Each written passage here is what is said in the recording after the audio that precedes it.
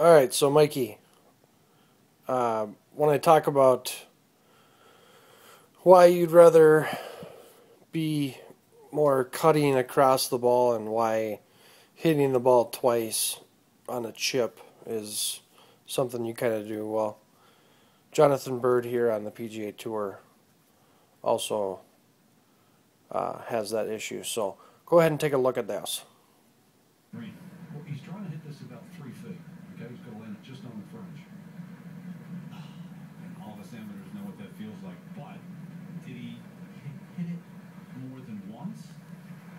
Check it out. His look tells it all, really. Just keep your eye on the ball. Maybe you see it. So there's the ball in the face there. And then it's See how long that club, the club, or the ball, the ball, blah, blah, blah, blah. the ball like rolled up the club face and then hit it again. But getting too shallow on it and not being steep enough, it's easy to scoop right underneath it and roll right up the club face. And then he makes it. Okay, tanks.